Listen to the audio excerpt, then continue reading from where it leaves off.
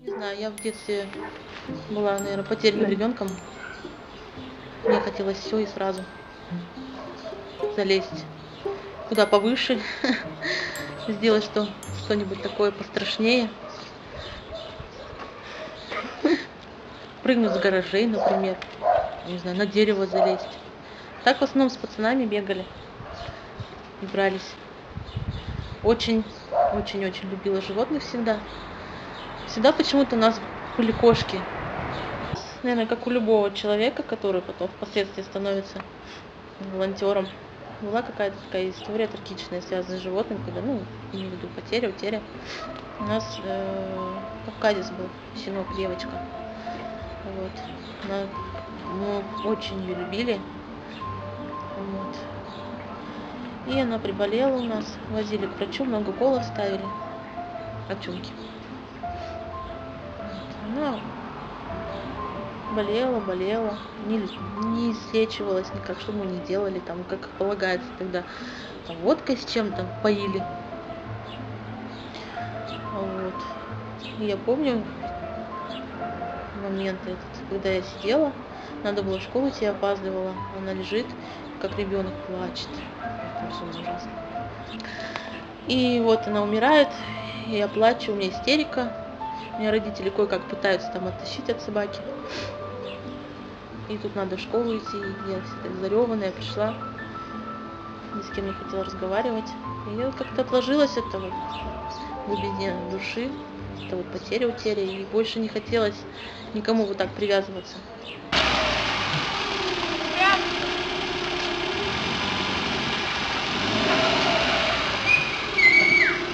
Отдельная история, как я попала в эту стаю волонтерскую.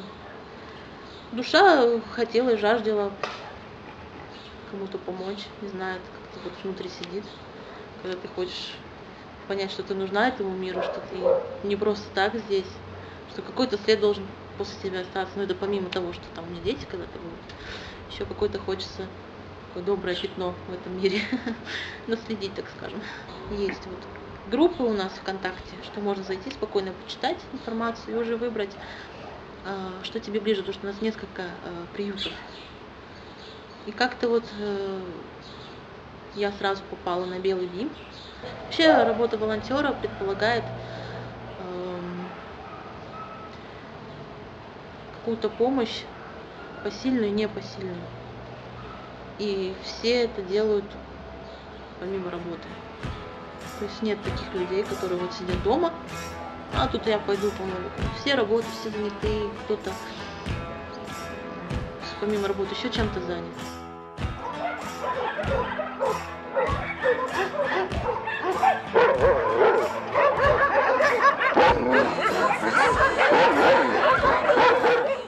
На самом деле Белый Дим это самый большой приют.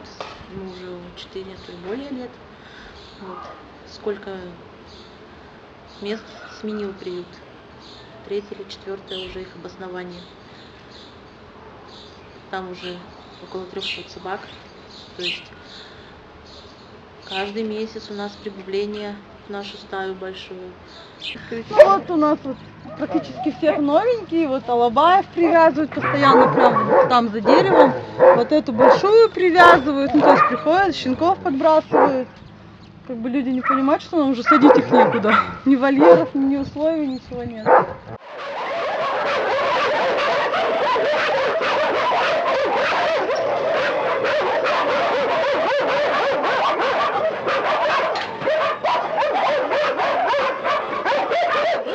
Все, все сдают нам в приют собак, а помощи про них про всех забывают, в общем. Все обещают помогать, помогать. Каждый свою собаку. А это у нас сторож, который до этого был, звонит нам зимой, говорит, я тут э, эту, машину э, коровьих голов купил. Мы в шоке. Зачем? Собаки из-за них дерутся. Вот такой мусор мы уже сколько вывозим, сколько машин. А снег, когда сошел, мы вообще офигели, пришли, кругом вот эти кости. Такое ощущение, что у нас внизу защита, а мы тут разделываем сразу же. Ну вот собираем запах, вот этот мусор лишний. Тоже это деньги, каждую газель нанимать. Поэтому мы вот потихоньку на машинах вывозим мешки. Сечку купили, в день варим 70 килограмм. Больше 400 литров. Сечки, столько же вот мясо нам отдают, а сечку сами купили.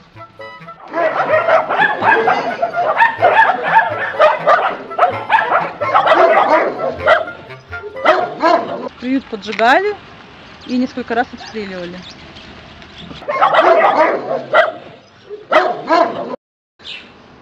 Мы помогаем животным, которые попадают в беду, неважно, пускай это будет э, какая-то ситуация на дороге, где собаку сбивают, либо это какой-нибудь хозяин нерадивый, который избивает свою собаку, либо хулиганы. Ну или бывает такое, что собака вот, проваливается куда-нибудь в люк или еще куда-то. Тоже выезжаем на такие случаи, когда нам звонят очевидцы. Люди, которые состоят в нашей группе ВКонтакте, они звонят и просят помощи. Мы приезжаем и, по- и помогаем. Ни- никогда не отказываем в помощи.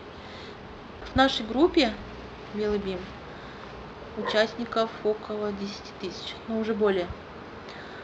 А, Но фактически активных волонтеров очень мало. Самый ценный э, вариант волонтера это волонтер на машине. Надо съездить в приют, отвезти мясо, купить набрать воды, потому что у нас э, наш источник находится достаточно далеко и очень тяжело нашим охранникам э, переносить воду, но это нереально. Поэтому мы ездим и помогаем.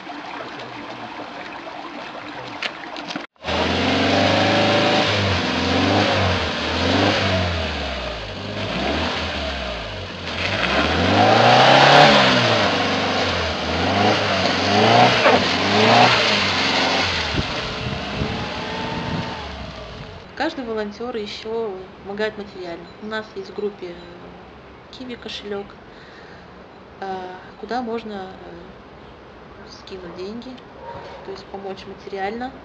Это тоже очень немаловажная помощь. У нас очень большие расходы каждый месяц, там что-то около миллиона.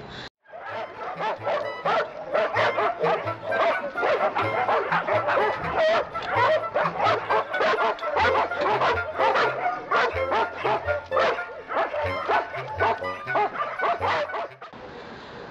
У нас есть еще клиники, где очень-очень-очень большие долги. У нас несколько клиник, где нам прощают просто наши долги. Они в любом случае, они всегда примут собаку. И вот все это записывается. И складывается постоянно какая-то сумма, она увеличивается с каждым месяцем. Мы в группе пишем про то, что помогите нам материально. На самом деле, если бы все вот эти 10 тысяч человек, которые ВКонтакте, если бы каждый скинулся хотя бы по 200 тенге, это уже какая была бы сумма?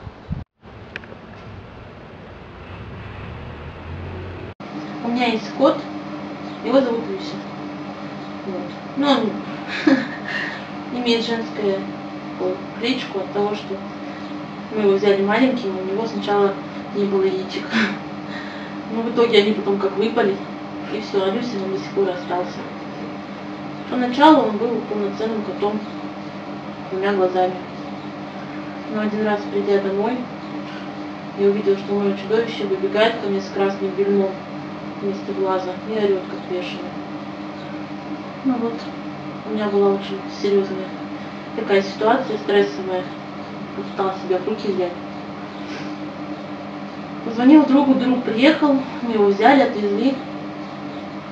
Как оказалось, ему выстрелили из винтовки в глаз на улице. Вот. Врач сказал, что надо вырезать глаз. Ну, он такой попался очень с юморком.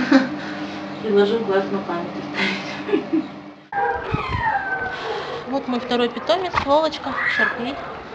Это собака-диагноз, как мне сказали, потому что нее постоянно какие-то болезни. Постоянно ее лечить надо, уколы, витамины, особое питание. А взяла ее приюта, как бы это банально не звучало.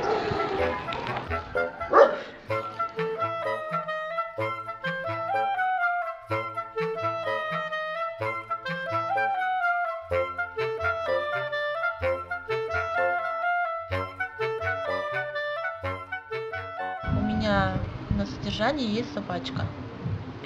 Она живет в бане. Мы, она была в клинике долгое время, но так как за каждую эм, передержку, как мы называем, да, будь это где-то в частном доме, где люди получают за это деньги, то, что они держат собак и кормят, где-то около 500 тенге. Вот. э, Также можно держать их в клинике, но это уже в два раза больше. Ну, сейчас смотря в какой клинике. Также мы спасаем собак с отлова. То есть это те места, где умерщвляют животных. Раньше, если это было как-то более лояльное отношение, то сейчас стараются максимально сэкономить деньги, выделяемые э, государством. То есть раньше это были какие-то уколы, которые э, ставили, чтобы животное могло уснуть. И дальше они уже занимались умерщвлением. Сейчас же они могут просто вколоть животное это лекарство, уменьшив дозу в два раза. Животное не умирает, оно остается живое, просто оно обездвижено. И что они дальше делают? Они просто берут удавку, начинают душить. Либо берут животное и бьют его об стенку или еще что-то. Ну, это страшная картина. Чаще всего они просто закидывают животных к уже мертвым собратам, собратьям. Вот. Они там погибают, они с- э, долгое время живут без еды, без воды, на трупах. Любой человек, который приезжает туда, он не может уехать с пустыми руками, то есть он обязательно кого заберет. Это страшная картина. И сознание человека переворачивается, видя это. Ложись, ложись, ложись, ложись, Полочка, ложись. Дай лапу. Дай лапу. Вот она собака. Чья она собака? Чья она собака? Дай лапу. Ой, ты моя сладкая. Ты моя сладкая собачка. Не дай лапу. Ой, ты она хорошая. Вот она хорошая. Как бы это грустно не было, но бывает, что наши собаки в приюте погибают. Особенно это часто в зимний период, потому что они могут замерзать. Иммунитет пониженный. Приезжаешь, смотришься, уже собака мертвая. Очень много у нас отвязанных собак, и приходится их ловить и садить на цепь, потому что очень много драк происходит между собаками. Эм, Один раз э, мы поехали, у нас волонтер Саша Макарова, тоже отъявленная девушка, она, у нее вообще нет никакого страха к собакам, она их очень любит безумно, она больше любит их, чем людей. Вот. И мы решили поймать собак, изловить. Одну поймали черную, очень долго за ней бегали. И как-то ничего такого не предвещало. Поймав ее, мы стали садить на цепь. Она услышала, что цепь загремела, и это ее безумно напугало. Она начала в разнос работать своей челюстью, она укусила меня сильно за руку. За правую, за левую, больше досталось левой. Распорола здесь, пришлось потом накладывать два шва. С тех пор и я стала не то, чтобы побаиваться собак, а побаиваться свою руку. Потому что мой спорт, мой вид деятельности, он связан именно с этой рукой. Я теперь боюсь за нее.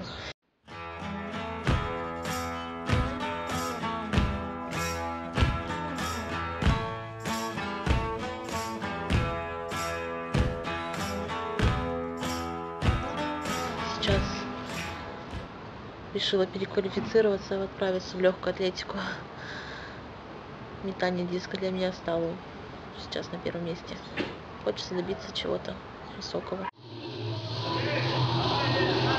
Давай, давай! Давай! Давай!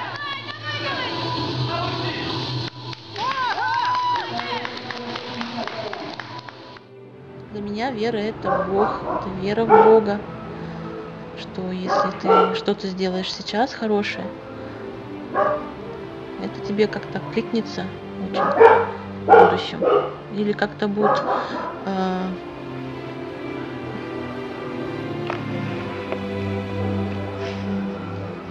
или как-то скажется на твоей карме. Я думаю, что э, моим детям это точно будет хорошо.